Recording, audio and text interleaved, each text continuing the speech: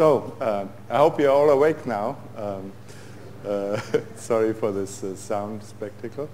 Um, I'm very glad to be here. To my, it's my second Scala I.O. The first one was, uh, I think, what was it, three, year three years back in Paris? So uh, I'm not exactly sure anymore, two years or three years back in Paris.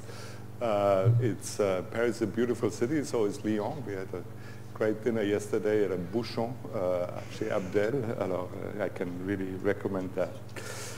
So um, what uh, this talk is about is I wanted to give you a quick update where we are in the Scala space, in particular with something that I've been mostly working on, that's Dotty, the next generation compiler. And, uh, but also generally, I mean, where, where Scala is, what has happened in 2016. Uh, there's actually quite a few things that have happened. Uh, there's a new release which is will hopefully definitely come out in 2016. It's currently in RC2, so release candidate number two. And with the, the RC system is essentially whenever a release candidate is found to be reasonably bug-free that it can go in production, it will go in pro into production. So it could well, very well be that this is the last RC and that what's out there is uh, finally Scala 2.12. Um, since 212 is out, we uh, think the next step beyond 213 uh, will be under the topic rethinking the Scala libraries. Uh, can, is, are there useful reorganizations that we could do? Uh, what we've also seen in 2016 is a new target platform, uh, Scala Native, and uh, quite a lot of progress on Scala JS. then we have seen the creation of the Scala Center, and finally, new results on DOT, the calculus underlying Scala, and Dotty. So I'm going to talk a little bit about each of those. Uh, Scala 212 uh, is, as I said, basically out. Uh, the um, main aim of 212 is to make good use of the new capabilities in Java 8. So uh, 211 ran already on Java 8, of course, but it didn't really make use of the lambdas uh, except for interop. So it could understand Java's lambdas, but it would, the compiler wouldn't generate any lambdas, uh, so it does now. And uh, it also generates uh, default methods of traits, uh, uh, so interfaces in Java. So that's also an, an advantage because it can actually reduce your code size quite a bit uh, it's actually uh, often these things are not so uniformly better. So one bad surprise that the 212 team found was that when they switched to the fancy new uh, trait encoding using the default methods, the cold start performance went down 15 to 20 percent. 15 to 20 percent slower for the compiler itself. And any uh, essentially program that uses traits a lot would suffer from the, from the same problem here. Uh, the problem was, or, or, still is, that these default methods are just not optimized as aggressively as if you have an encoding in classes. Uh, so essentially the, the, JVM will get much later to optimize that those methods than the traditional encoding, the clunky encoding we used before. And that's the, that, that caused the slowdown in cold start performance. So in a nutshell, uh, the, the team backed out on these methods a little bit. It still uses trait default methods, for interop and for migration, but it also essentially uses the traditional scheme which just essentially patches these classes directly in order to get better cold start performance. I think that's configurable with the switch, so you might as well turn it around as well. Okay, uh, Scala 2.11 will be around for a while. Uh, I think 2.11.9 is just out, and uh, hopefully that will be the last release, but it will be essentially uh, that uh, will be maintained with, if needs to be point bug fixes for a while in the future. A lot of new features. Uh, look at the release notes to, to, to have them, uh, to see the details. And a lot of contributors uh, uh from uh, Lightbend Scala team, Lukas, Jason, Adriaan, but also uh, from quite a few people outside. So that's a big step.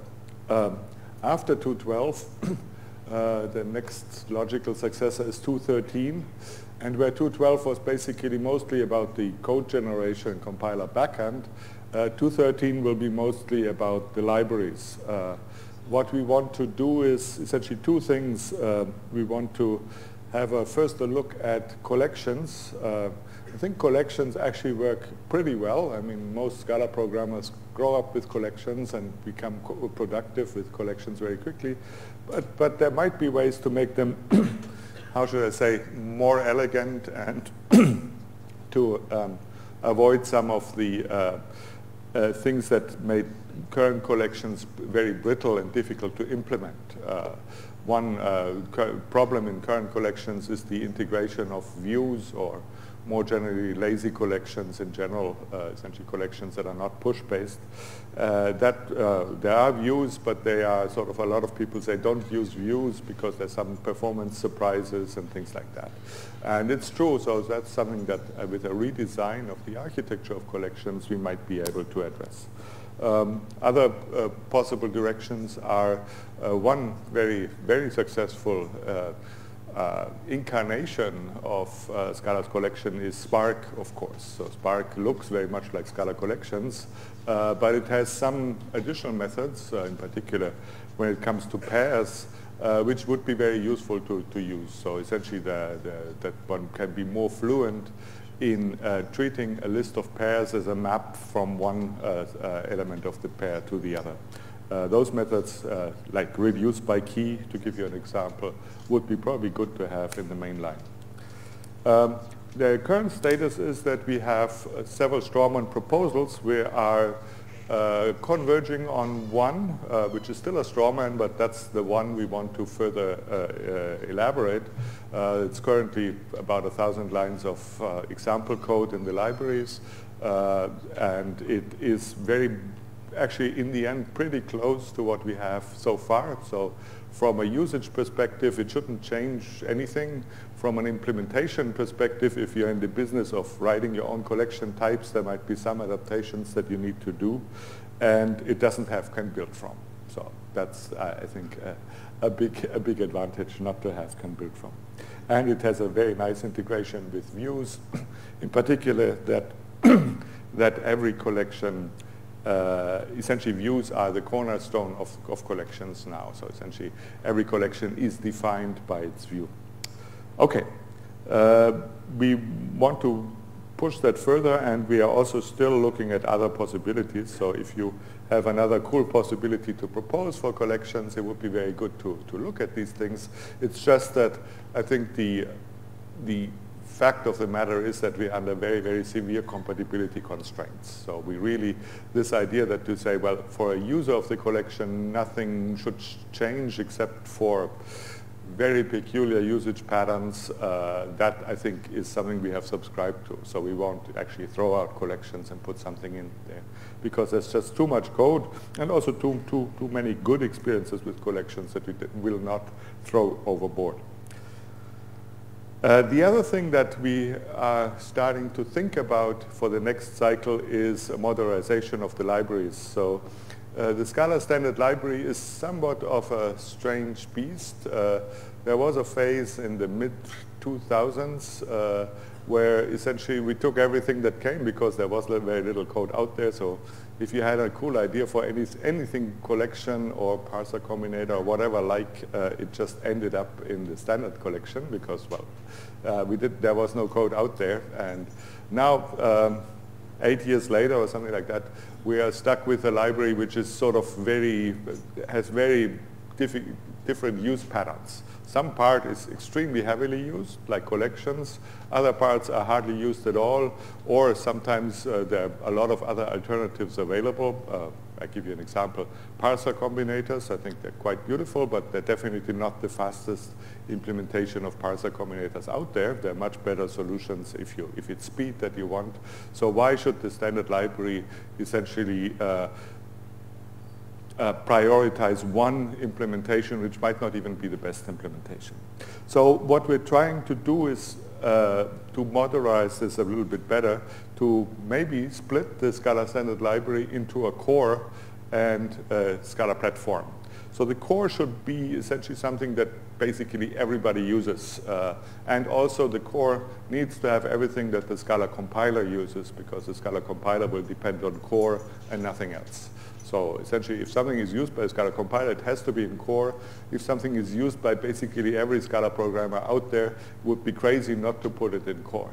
But for all the rest, uh, we should maybe uh, use, not put that in the so-called standard library. Then the question is, where else do you put it? Um, there's a possibility to, to essentially just tell the users, well, discover this stuff yourself, and we're going to help you. There's this uh, Scala Scala Dex, the Scala package index out there that helps you find uh, what uh, packages for whatever you need. But I think there's actually scope for something a little bit more battery included approach and uh, that would be the Scala platform. So Scala platform is essentially something that would, should be curated by the community, by a team of people working on the platform. And the Scala platform would probably be have best of breed solutions in a number of areas uh, and it should, these areas should probably be bigger what's currently in the st standard library. So a typical thing that I would like to see in the Scala platform is a library not just for XML, which will surely go to platform, it has no, no use being in the standard library, but also for JSON. So essentially JSON parsers, uh, uh, lots of other things could go into the platform uh, and the to be successful in this platform, uh, the most important thing is that it's a community effort. That really we find a set of people who says, well, that's something we care about and I want to contribute uh, my library and I will commit to maintain it with other people and uh, I will essentially work with others in the platform to uh, throw together, or to, not just throw together, but to build something that works well with each other. For instance, if one, um, uh, the uh, dependencies in the platform ideally should go only to the platform. So if one library uses something else, then that something else should either be a very well-known external library that we don't need to duplicate, or it should be in the platform. But the dependencies shouldn't just go all over the place. Okay, so that's the second thing, and that's sort of something that we want to essentially start a process. I don't have a platform yet, but I think what we should do is start a process to get to the platform. Uh, then uh, there's development in the non-traditional targets. Uh, Scala.js is now at 0613. Uh, uh, it has tuples, it has better JUnit support, it has better uh, JavaScript support through native anonymous classes, and it has faster code generation. And generally, Scala.js is now, I think even though it's 06, the next release, well, people always say next release, but hopefully really one of the very soon next releases will be 1.0, which means that we finally, uh, the team finally acknowledges that this thing is production ready. I would say it's production ready now, but the people are very, very conservative, so they just want to get, fix this, fix this, fix this, maybe also uh, because once you are 1.0, it's much, much harder to change any API. Okay.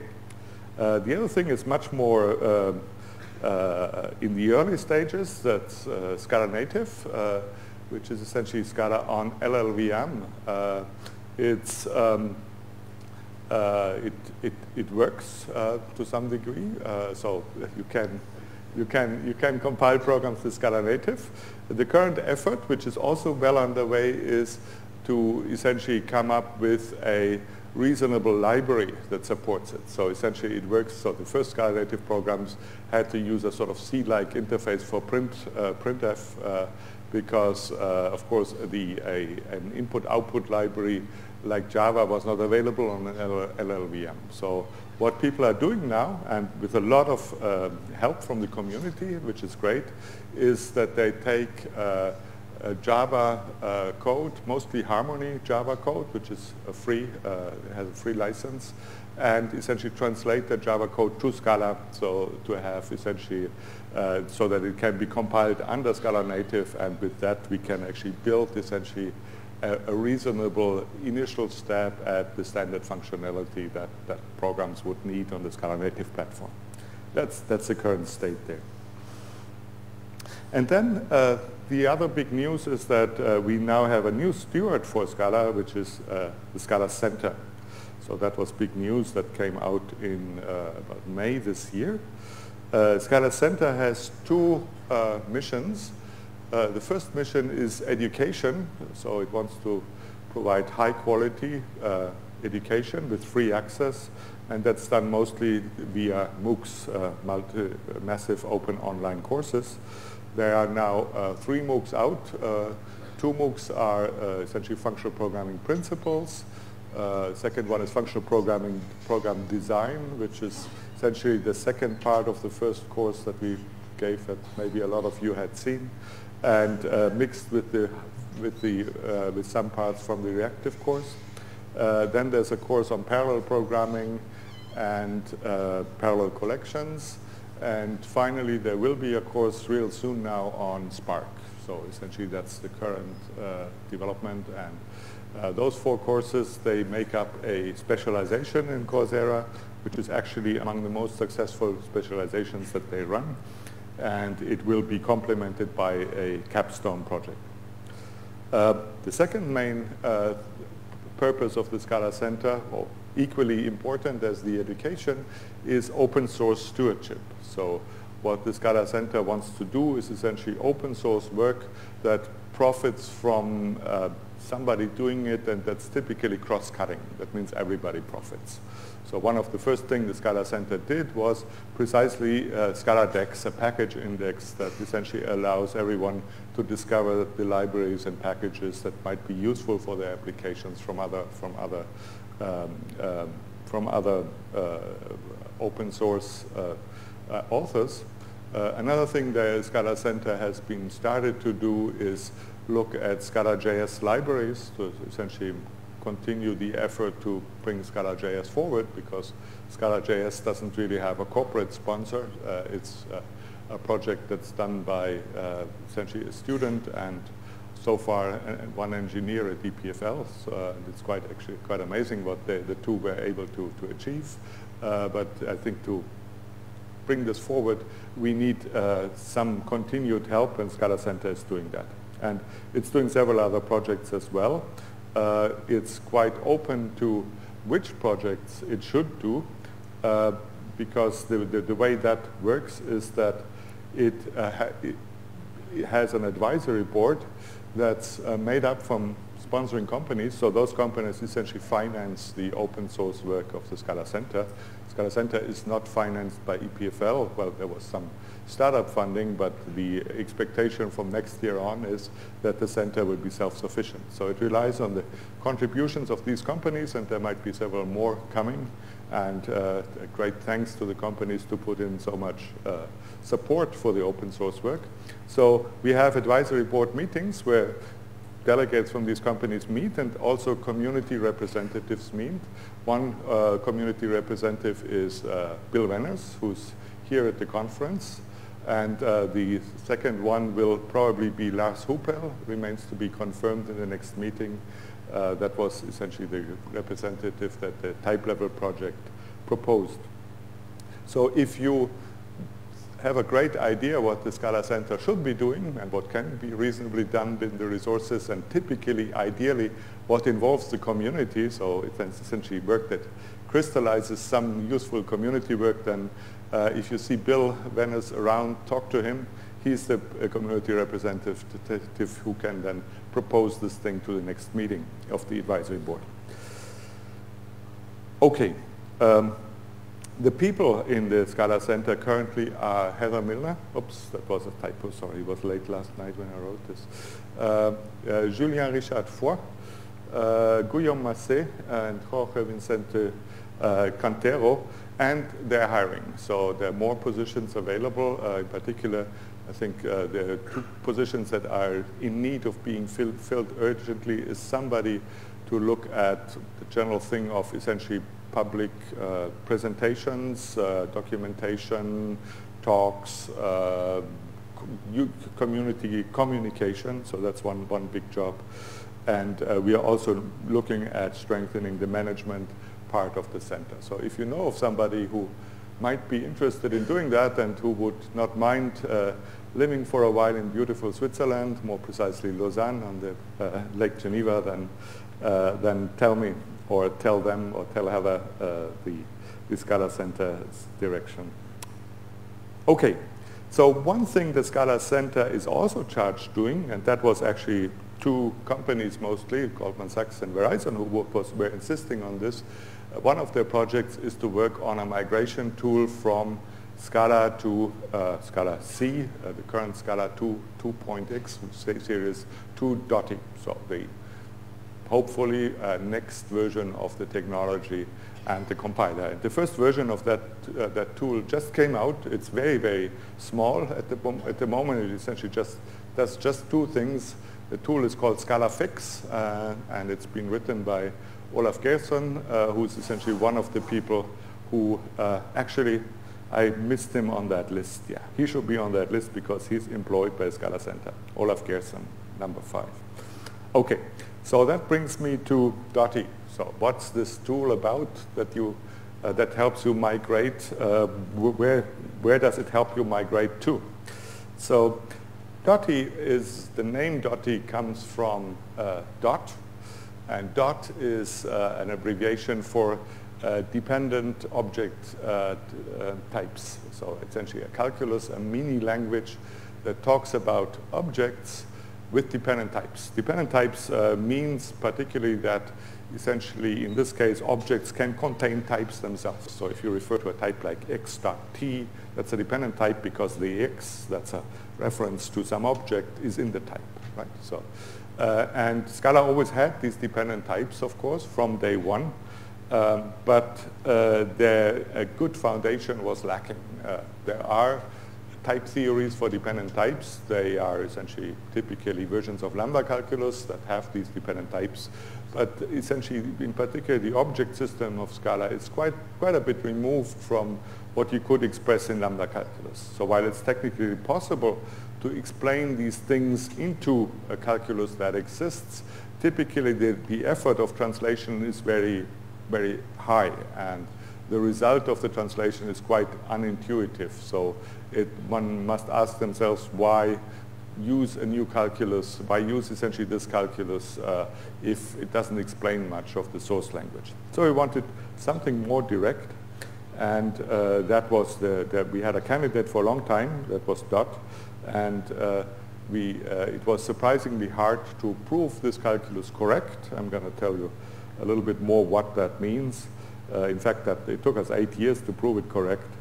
Uh, but now that it's proven correct, it actually has given us already a lots and lots of insights about language design, about what to do, also about what not to do, because it's probably unsound or it's very, very hard to get right. Okay, so dot, the, the, like I said, it's a mini language uh, that can, one can reason formally about. And in fact, the language is so small that it fits on this one slide. Uh, if I exclude the types, the types will fit on another slide. So what the language, all these things are recognizably Scala, right?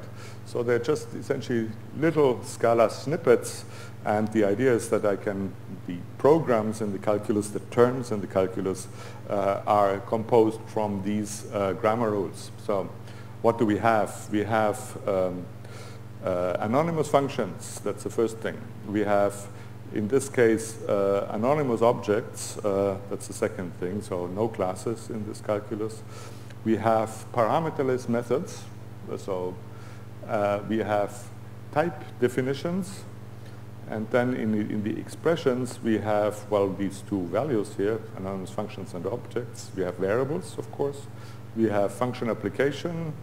Uh, we have uh, method selection, parameterless method selection, and we have local definitions. So essentially a block with a val and, and, an expression. And that's all. So that's essentially what we're talking about. And one of the things one has to reason about then is to say, well, is that enough? Can I really essentially map the full language into that?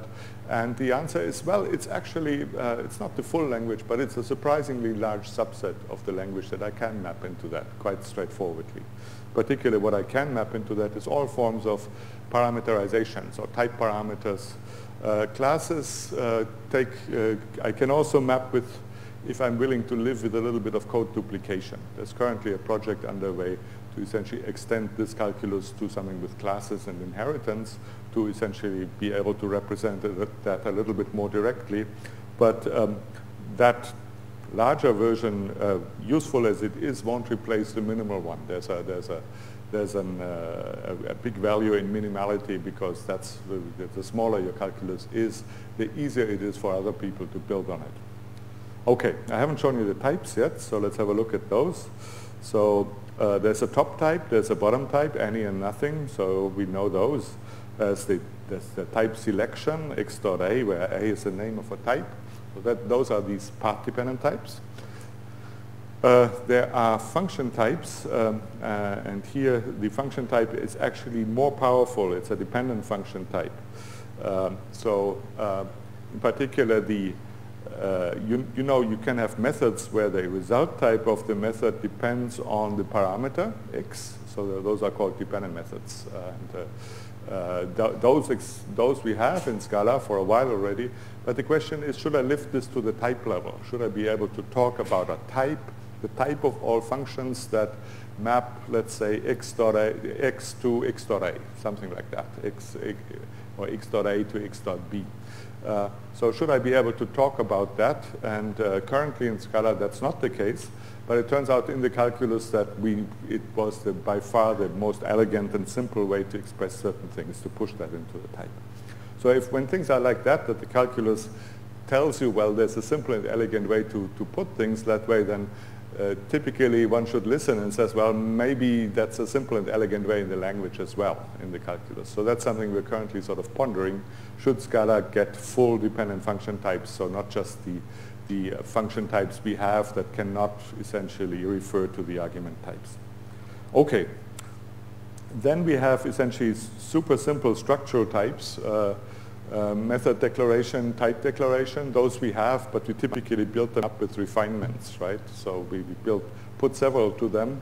Uh, in the calculus, we don't have refinements, but we have something else. We have intersection. So we can intersect two types, and thereby we can essentially build up these single field records into records with, with many more types. Intersection exists sort of in Scala, it's called with, so currently T1 with T2, but uh, I'll get to that, it's actually not exactly the same thing. So with has certain shortcomings, in particular that it's not commutative. So A with B is not the same as B with A in general, uh, but for with intersection it is. So essentially the proposal is to de-deprecate with or rewrite with automatically and use the new intersection operator instead. And the final thing is recursion, which is essentially exists on the class level in Scala, not on the, on the type level. It exists with a, not with this syntax, but with an indirect syntax because refinements can essentially recursively map to each other. In the calculus, it was important to make this a special construct because one, it, it's easier if you talk about things formally that you have some syntax to hang this on. Okay. So the, the hard part of the proof was uh, the, that this uh, property which says that if a term has a type and evaluation of the term terminates, then the result will be a value of the same type. That's typically called a type soundness theorem or the classical uh, uh um, uh, characterization of a type soundness theorem. And uh, I'm, you, can, you can ask me after the talk why it was so hard. Uh, but uh, it was very hard. It, well, it was mostly because users can write these types with lower and upper bounds, and essentially that means that uh, in this language and calculus, essentially the subtype theory is user definable and that's something that makes a lot of calculus people and mathematicians very nervous that you say, well, uh, I want, really want to know what theory I'm talking about, but with user-defined subtype, uh, essentially type declarations, that's not the case, and that made essentially the soundness proofs much, much harder. So why is it important to have a theorem about that, like that? Well, one is it gives us a validation we're on the right track. This seems to be a good calculus for what we're talking about. But why is a calculus important, you could ask? Well, I, I think the, the importance here is it gives us a technique to reason about the correctness of other language features. And it turns out that um, uh, we now have put uh, quite a few language features under scrutiny, and they probably will have to go. So the lesson learned from the calculus was that essentially this one on the top. So if you select a type from a value like x dot t or, something like that, or path dot t, then uh, the path x must be known to be a constructed value. Because if you construct this thing at runtime, you know that essentially all the types you define have actually a solution. You have to give concrete types when you run this. Or uh, uh, if, if, if there's still an abstract type, then the compiler at this point will check that all the bounds are okay. But it turns out it can't do that in general. It can only do that when you build an object.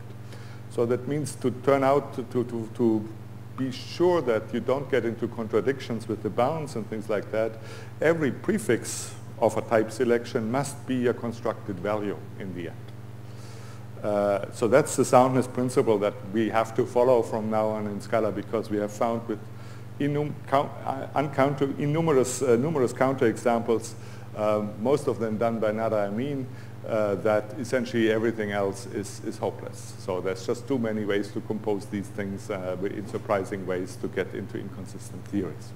Okay, so what does that mean? So things that have to go, the things that are very problematic are general type projection, A hash B. Uh, because, well, we don't know whether the A here is actually uh, a type that is consistent, that has consistent bounds. And in general, we can't find out whether it has that.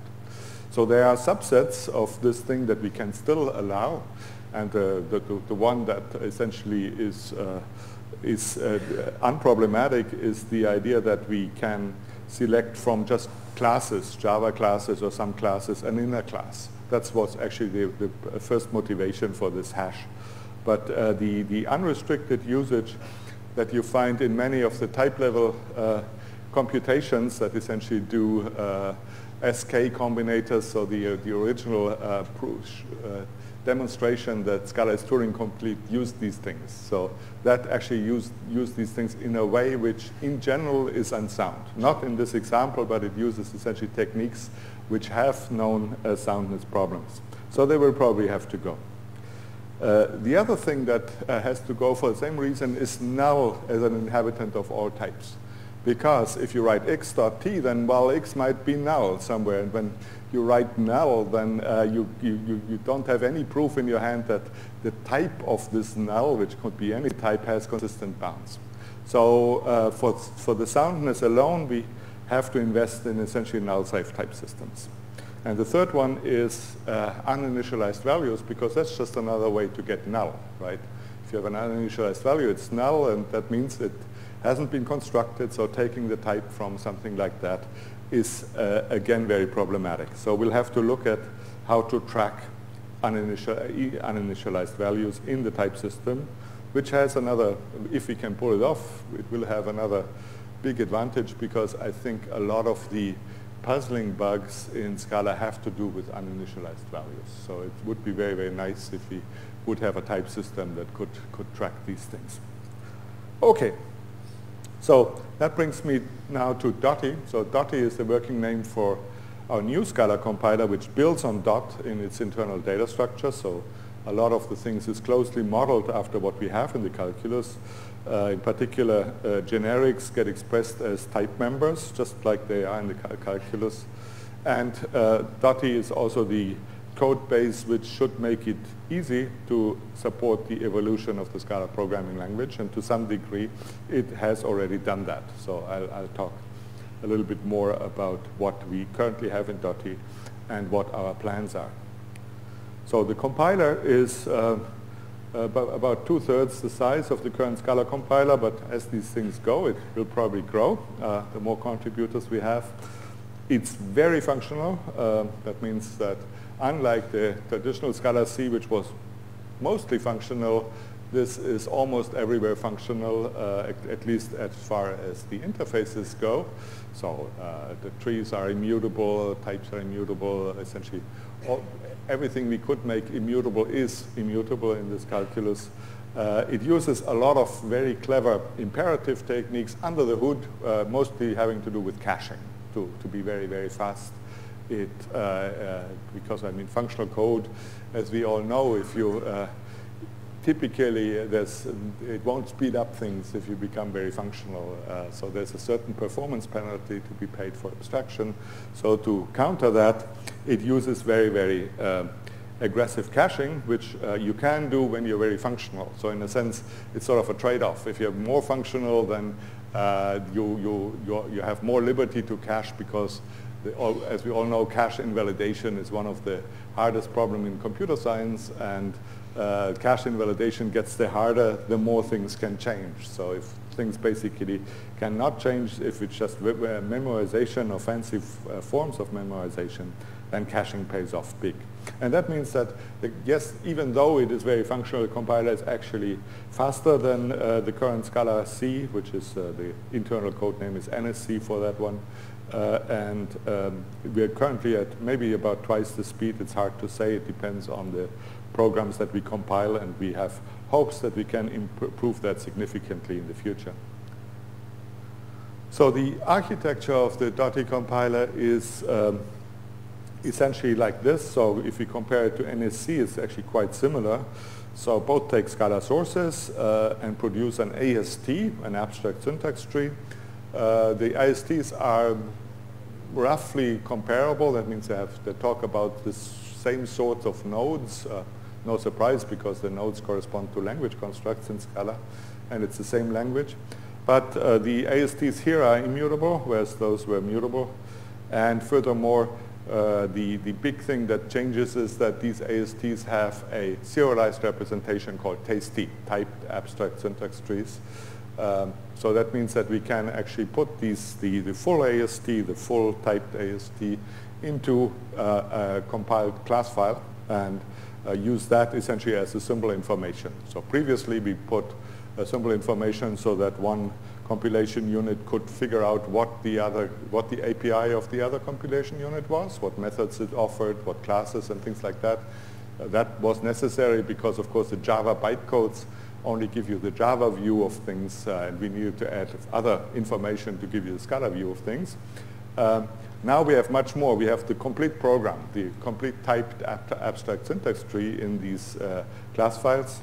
Uh, the first thing which is a, was a pleasant surprise is that these typed abstract syntax trees, they're actually quite compact, um, roughly on the order of the source size. So I thought it would be much, much bigger and would blow up the, the jars and the class files, but it doesn't. So it's, it's actually quite reasonable what it does there.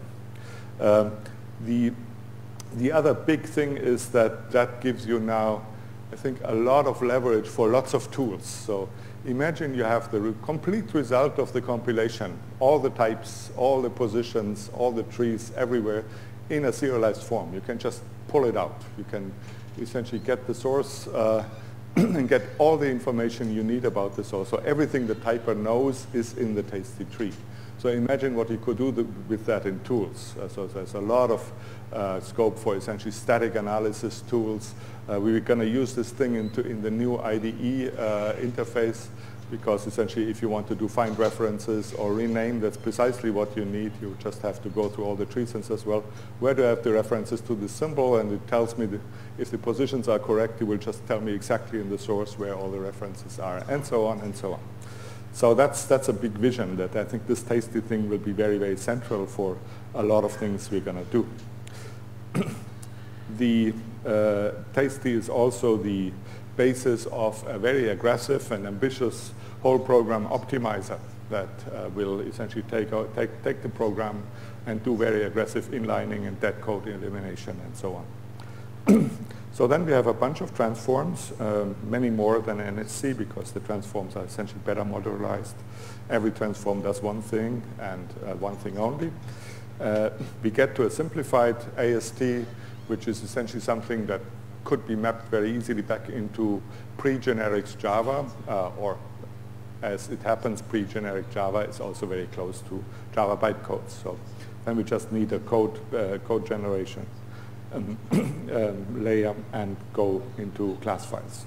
The code generation layer is currently shared between the Scala part, the Scala C part, and, and the Dotty part. So we use the same code generator here.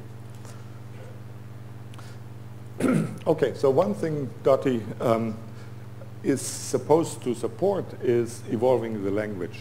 And uh, that's, of course, being a language designer, something I care much about. So uh, it's quite natural that I want to make Scala the best programming language I know how to make. And best here is definitely not something absolute. So it definitely will not mean throw lots of features and features into Scala to, do, to, to be the best language for everyone. So you have to select something and you also have to say, well, something is worthwhile doing, but it just doesn't fit very well. So uh, what best means here is essentially a local optimum that you say, well, if in the space Scala is, uh, which is uh, essentially general purpose, predominantly functional programming, uh, I want, and on the JVM with essentially strong interoperability with something like Java, uh, if there's something we can improve, we should. So that's sort of my, my idea. But we won't turn it into something completely different like uh, a, a, TypeScript, uh, JS only, or a Haskell or something like that. Okay, so the elements we play with, which I think are the essential elements for Scala, are definitely the functions, and I think we should take functions more seriously. That means functions should be mathematical functions, and there should be ways to actually ensure that. Uh, classes and objects, uh, which are essentially the module system. So we have uh, essentially standardized on that as, as our module system, and I think by and large it was a good decision. Uh, strictness, uh, so there, we all know there are ways to write lazy Scala programs, but they're not essentially the default, and they will not become the default. Local type inference, which is essentially a trade-off. It would, of course, be nice to have full Hindley-Milner but unfortunately, that ju that's just not compatible with a lot of the features that are in Scala, in particular, the heavy reliance on subtyping. So it will stay local type inference, but we'll see what we can improve there. And finally, and I think that's very important, implicits, and, with that I mean more implicit parameters and uh, used to simulate, for instance, type classes, and not so much implicit conversions. And I think implicits are really where it's at. So I, I really think that's the thing that got pioneered by Scala, and that is an extremely powerful feature, an easily misused feature, and we just essentially have to uh, turn the dials to make it to improve the usability and improve the uh, essentially general uh, application areas. And I, believe me, there are lots and lots of more application areas for implicits that we only scratch the surface at and essentially reduce the, uh, the abilities to the, the, the, scope of misuse. So that's, I think, an important thing where we say we have, we have sort of a rough diamond there and we have to polish it more to make it really shine. So the goal, what, the goal for the new development is to deepen the synthesis of functional and modular programming uh, to improve the connection of Scala with the theoretical foundations, DOT specifically, uh, to improve the guarantees that the type system can give us, and at the same time to stay simple and approachable. So I'll give you a quick whirlwind tour of uh, what we have. Well, first, let's, let me start with what we have no more, or what we will drop. Uh, so I said, well, what, we, we're not going to make a huge language where we drop lots of things, so we will add some of the things. So what we want to do is essentially drop some of the things before we start adding them. Uh, some of the things are purely syntactic, like procedure syntax will be rewritten automatically to, sorry, to the thing that you see here uh, at the bottom. So the uh, Scalafix rewrite tool does that already.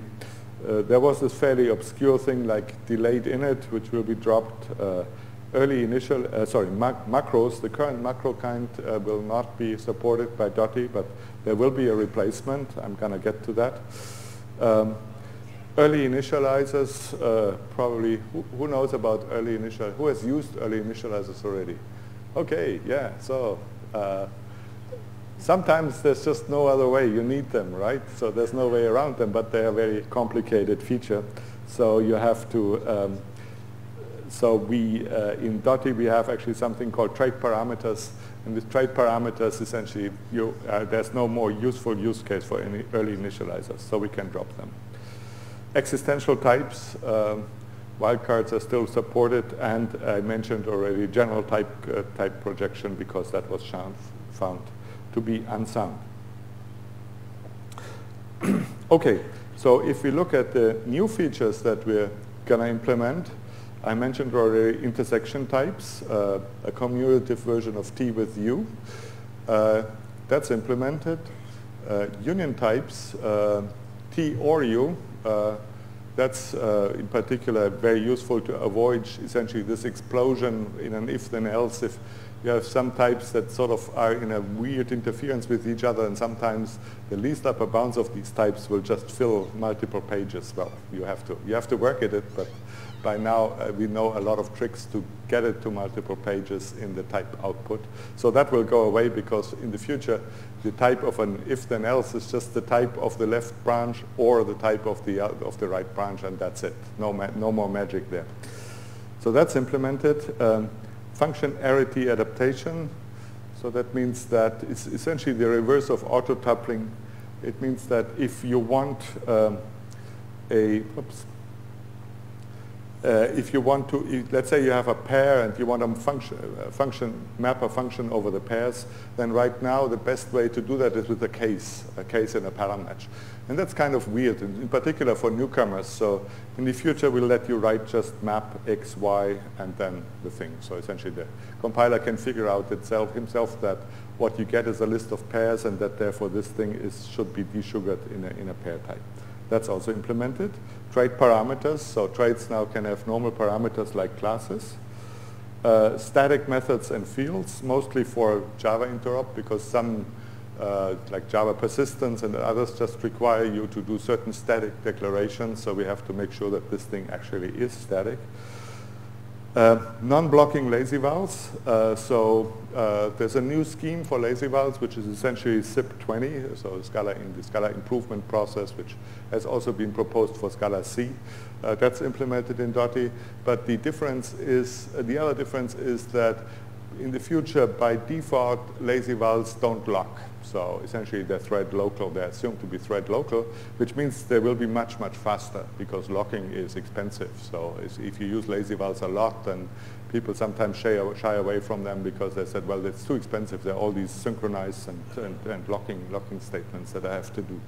So in the future, if you want lazy vals that are visible from several threads and uh, they should behave, behave, in the right way, you have to write a volatile in front of it. Uh, and again, the rewrite tool that we, we uh, have in Dotty will uh, do that automatically for you. It will just put by defensively a volatile in front of every lazy value you write, so uh, this, the syntax won't change.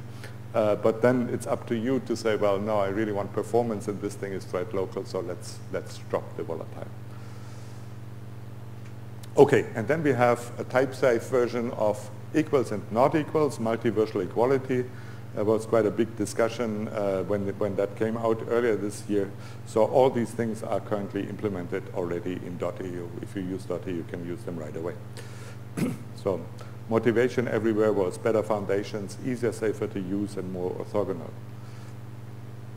Okay, um, I'm running out of time, so I'm going to uh, skip a lot of things. Uh, uh, what, what we have here is essentially improvements in the type system, in the type inference, should be simpler to specify, in the implicit search with the faster search algorithms, and several improvements in value classes. So who's working on, on all this? So the core team is at EPFL including Dmitry Petrashko, Guillaume Martres, Felix Mulder, and new, new people who've newly joined us is Nicolas Stucki, Fengyun Liu, and Olivier Blanvillain. And we also have a rapidly increasing set of outside contributors in particular, there's now a drive to essentially make error messages nice in the, in the, in the Elm way of nice. So really to have nice, nice explanations and things like that. And essentially we crowdsource that. So a lot of new contributors come and says, well, let me make this error message nicer. Let, let me make, give an explanation for that error message. So if you have some time on your hands and want to join that, I think some messages are still left, but they're going quickly. Um, the Scala Lightbend team also helped a lot with uh, providing the infrastructure, doing reviews of what we do and suggestions. So the next step would be uh, to go to a minimal viable product for Dotty. Minimal viable product is something where we essentially say with confidence, well, here's a release, you should be able to use that. It's not a production-ready release uh, because we reserve the right to essentially change things and break things for a while. Uh, but uh, if you want to uh, try it out and see what's coming and or if you want to contribute or if you want to essentially just play with it, it should be, we, we, we're confident that you won't be disappointed. And uh, so that means we need to be able to use large projects and libraries and also migrate them. So not just use the Scala 2 binaries, which we can, but migrate those, those large projects and libraries. And the second uh, milestone there is that one should be able to work only in the Dotty code base. So no Scala C needed anywhere, not for the REPL, not for the IDEs. It means we need a lot of these things to, to replace a lot of these things ourselves. We hope to get there in spring 2017. That's difficult to say because we're not like an, a big company that says, well, that's our milestone, let's throw programmers at it. It's a community effort. It depends how essentially people uh, can, how, many, how, how, how good uh, contributions we get and how focused and motivated the contributors are. So needed for the MVP is the following. We need a stable compiler, and we're getting there, I think. We need build tool integration, and that's done for SBT. And uh, we are also working with Chris Vogt on uh, CBT integration, which could be a very nice alternative build tool for Dotty. Uh, we need a REPL. We currently have a really simple rudimentary one that could, could need some love if, if somebody wants to sort of uh, take over work or contribute to work for the REPL would be great. We need IDE integration, and we're talking with the ENSIME people, and we're also talking with the IntelliJ people about that. So lots of things are happening there. One thing we have took on uh, now in the in the Dotty team at EPFL is that we want to implement the VS Code language server protocol, which is used for uh, VS Code, also for Eclipse Che, and it's made quite a, quite a, essentially it's got quite a lot of publicity recently as essentially an, a neutral API between a language IDE server and essentially editors that can use the, the protocol. So that's where we're currently about to implement that, and that protocol makes crucial use of precisely tasty trees for a lot of the information.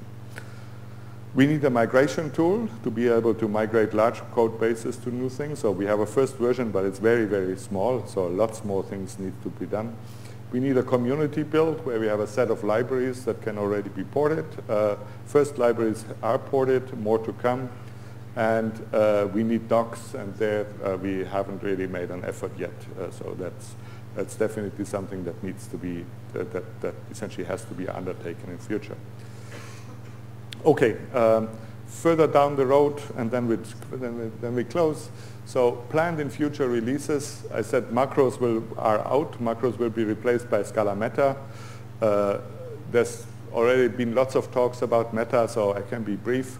Uh, essentially what we want to do is split the macros into two concepts. An inlining thing that you say I have a piece of code and I have a type a guaranteed way to plant this code at the call site. That's been implemented.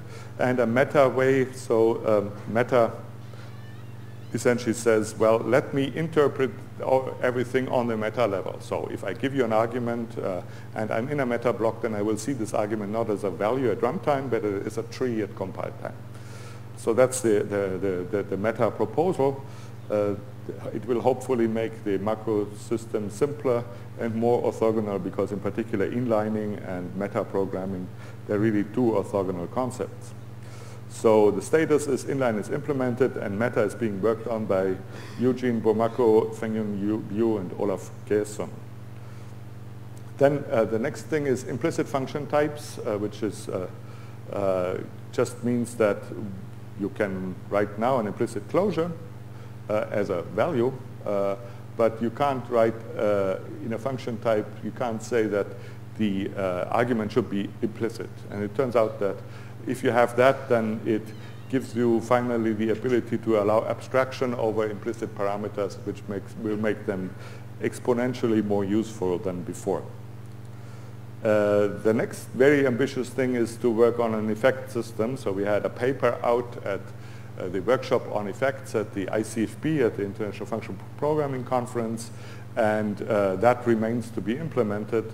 But I think that would be, if it's implemented, would be sort of the biggest, the biggest jump ahead for Scala and again the effort is to implement it in a backwards compatible way but I think we've, we found just the ticket to do that. So with this proposal uh, hopefully we can actually give you a smooth migration path from current Scala to effect checked, checked Scala that you can, everybody can do that at their own pace, essentially be able to effect check larger and larger libraries. Uh, so that, that's, that's an, of course a must for, for this. But I think we, we found a way to do that. Null safety, I've already talked about. So null safety is necessary for soundness and it's actually quite easy once you have union types because a type of essentially, the idea would be if you have just the type string, then null is no longer allowed. But if, if you have the type, type string question mark, then that would be string or null, and that can be represented quite easily in the type system just with a union type. It's string or null. So that's, that's what it is here. And finally, uh, scrap your boilerplate. So what we want to do is essentially get rid of the 22s in Scala. I like 22 as a number, but uh, it's, it's been, been used a little bit too, too, too much in Scala. So um, the, the idea there is that instead of having all these classes, tuple, product, function, we have essentially HLists in the language. And the syntax for HLists would be uh, just the syntax for tuples, right? So essentially an HList of length 3 would be written stu, and that would be interpreted as essentially be syntactic sugar for this thing on the right. So essentially integrate HLists with tuples, and then uh, based on that, we should also be able to abstract over case classes, essentially take, uh, you could say, the core of shapeless or some, some of the nice parts of shapeless and essentially integrate them with the compiler. So work on that has started. That's uh, Olivier Blanvillain who's, who's doing that, and he's actually also talking later at this conference. Okay, so um, that's all I had. Uh, thanks for listening. And I don't know whether we have time for questions or we should take it offline. Five minutes, okay. Yes?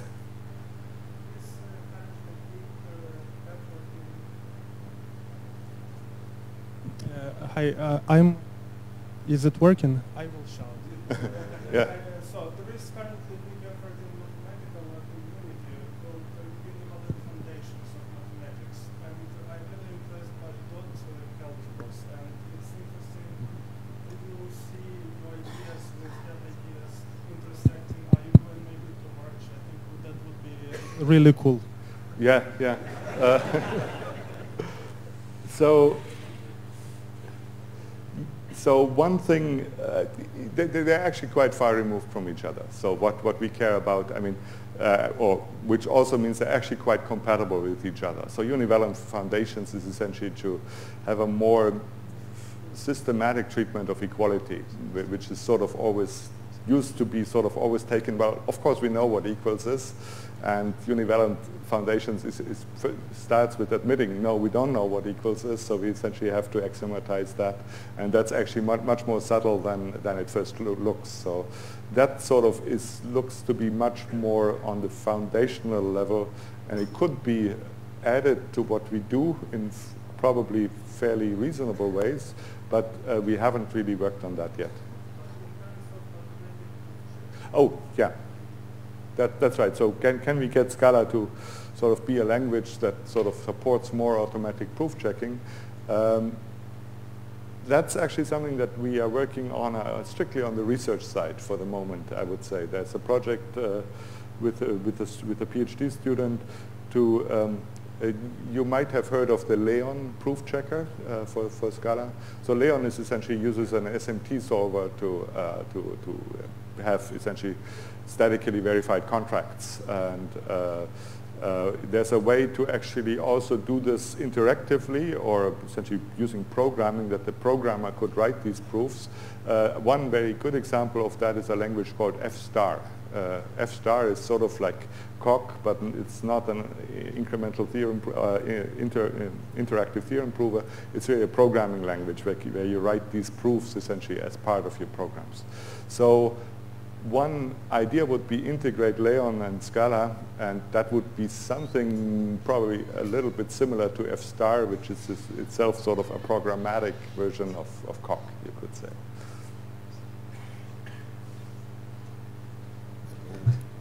Okay. Thank you. Merci.